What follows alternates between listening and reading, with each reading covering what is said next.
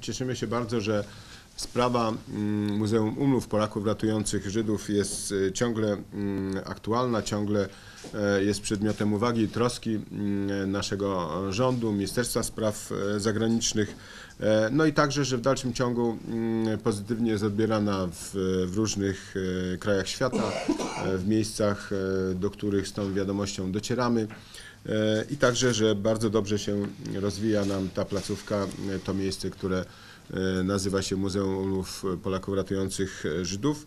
Instytucji, która dzisiaj jeszcze jest w strukturze naszego muzeum mm, e, w Łańcucie, e, ale też procedujemy, jesteśmy w trakcie mm, wydzielenia tej placówki, e, aby była ona samodzielną, mm, żeby ta placówka też e, mogła mieć e, współfinansowanie z Ministerstwa mm, Kultury i Dziedzictwa Narodowego. Te mm, prawie 50 tysięcy zwiedzających, które w tamtym roku od 17 marca odwiedziły e, tą instytucję, jest takim e, oczywistym wymiarem e, zainteresowania e, tym, co muzeum pokazuje, to, co e, muzeum e, i tym przekazem tego muzeum. E, Na pewno mm, ważne jest, że te, mm, ta, ta liczba zwiedzających nie składała się tylko e, z Polaków, e, ale mm, prawie ponad 10% zwiedzających to e, goście zagraniczni. Odwiedziły to miejsce ważne osoby e, z punktu widzenia politycznego. E, Byli to prezydenci Grupy Wyszehradzkiej e, z panem prezydentem Dudą, który drugi raz już, Andrzejem Dudą, który drugi raz już był w naszym muzeum. E, Oczywiście byli przedstawiciele mm, e, rządów e, mm, europejskich, była pani premier. Bardzo mm, się cieszymy, że też w dalszym ciągu bardzo dobrym echem odbija się zaangażowanie placówek Ministerstwa Spraw Zagranicznych, które były włączone w cały przekaz związany z transmisją samego wydarzenia, czyli otwarcia, ale i w dalszym ciągu mm, wszystkie działania edukacyjne, promocyjne, informacyjne e, są przez e, MSZ e, realizowane. To wszystko, mm, mam nadzieję, e, to wszystko wpisuje się e, w całą politykę zagraniczną, w politykę pamięci, e, którą mm, wszyscy, o którą wszyscy powinniśmy e, dbać. Ministerstwo Spraw Zagranicznych z ogromnym uznaniem obserwuje to, co dzieje się Markowej, pracę samorządu województwa y, podkarpackiego, pracę dyrekcji Muzeum Markowej, y, które rozpoczął pan doktor Szpytma i teraz y, kontynuuje pani doktor Stróż. Szanowni Państwo, to co przez ostatnie lata zapoczątkowało i realizowało województwo podkarpackie, e, od półtora roku realizuje cały kraj, czyli walkę o pamięć, walkę o to, żeby przywracać e, faktyczną wiedzę o tym, co działo się w czasie II wojny światowej, o postawie Polaków w czasie II wojny światowej. W okresie e, kiedy coraz częściej słyszymy o tak zwanych polskich obozach koncentracyjnych, w okresie, kiedy coraz częściej słyszymy o rzekomym e, współorganizowaniu przez Polaków Holokaustu, pojawiła się w województwie podkarpackim instytucja, która w sposób zdecydowany pokazywała prawdę, obiektywną prawdę o tym, jak wyglądały te wydarzenia z czasu wojny i mm, był to pewien prekursor szerszego nurtu w naszej dyplomacji historycznej, którą teraz realizujemy w całym kraju. I dla nas otwarcie Muzeum Polaków Ratujących Żydów Markowej było mm, jednym z takich najważniejszych wydarzeń w dziedzinie dyplomacji publicznej, dyplomacji historycznej roku 2016. I postanowiliśmy y, jako Ministerstwo Spraw Zagranicznych, jako polska dyplomacja, y, doprowadzić do tego, żeby te wydarzenia z, z Markowej z 17 marca 2016 roku ujrzał cały świat. Bo były one na tyle ważne, na tyle przemawiające, że zależało nam na tym, żeby każdy mógł się z tym zapoznać. Zorganizowaliśmy największą, jak później w czasie podsumowań można było się przekonać, operację dyplomacji historycznej y, po 1989 roku największą, jeśli chodzi o skalę placówek, skalę dotarcia, zwłaszcza skalę dotarcia do opinii y, publicznej w innych krajach. Do elit w innych krajach, do osób, które nadają ton debacie publicznej e, w wielu e, krajach na świecie. Wydarzenia z 17 marca 2016 roku mm, zostały y, pokazane, przekazane w 40 placówkach dyplomatycznych Rzeczypospolitej Polskiej na świecie, w 29 krajach. Zorganizowaliśmy dyskusje, wystawy, konferencje związane z otwarciem Muzeum Polaków Ratujących Żydów w Markowej samo wydarzenie zostało pokazane na żywo w 15 placówkach y, na świecie. Y, W 15 placówkach, y, w naszych ambasadach, konsulatach, instytutach polskich zostały zorganizowane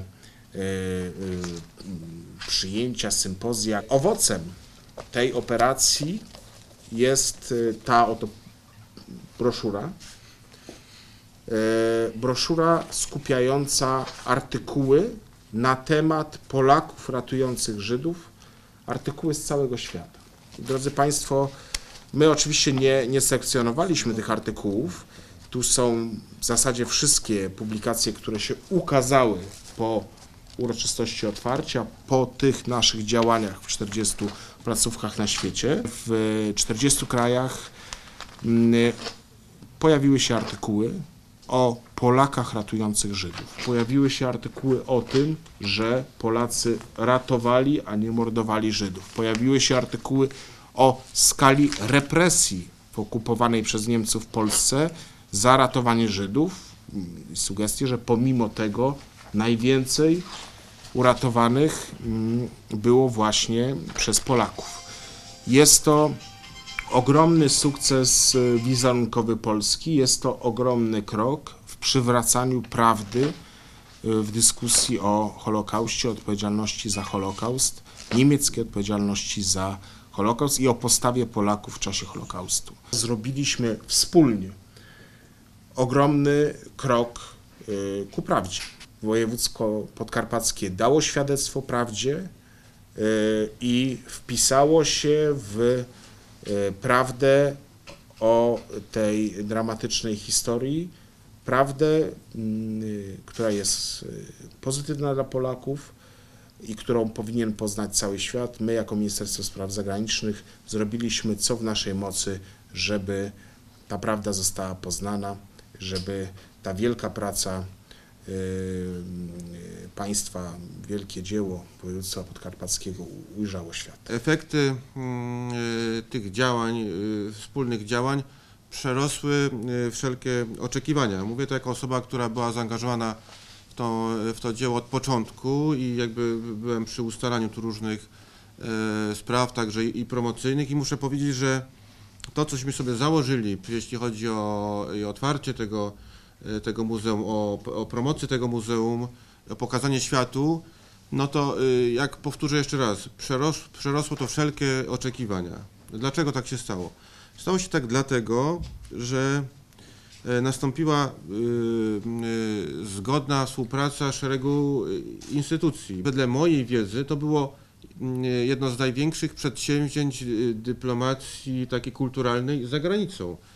E, W jednym momencie ta wystawa y, była pokazywana na sześciu kontynentach. Na sześciu kontynentach. E, W wielu, y, wielu miejscach, miejscach świata. To jest coś, co ma, co ma wymierne znaczenie. To jest bardzo ważne, że tak szybko, właściwie pół roku po otwarciu muzeum, e, ten album mógł się ukazać, pokazując sylwetki osób z Podkarpacia, które były zaangażowane w ratowanie e, Żydów w czasie II wojny światowej. No i po raz trzeci zaufano nam również, tym razem i instytucja samorządowa, bo pan marszałek i e, Ministerstwo Spraw Zagranicznych, występując z propozycją zaangażowania się w bardzo interesującą naszym zdaniem konferencję, która odbędzie się w tym roku. Jeszcze trudno powiedzieć o konkretnym terminie, trwają przygotowania.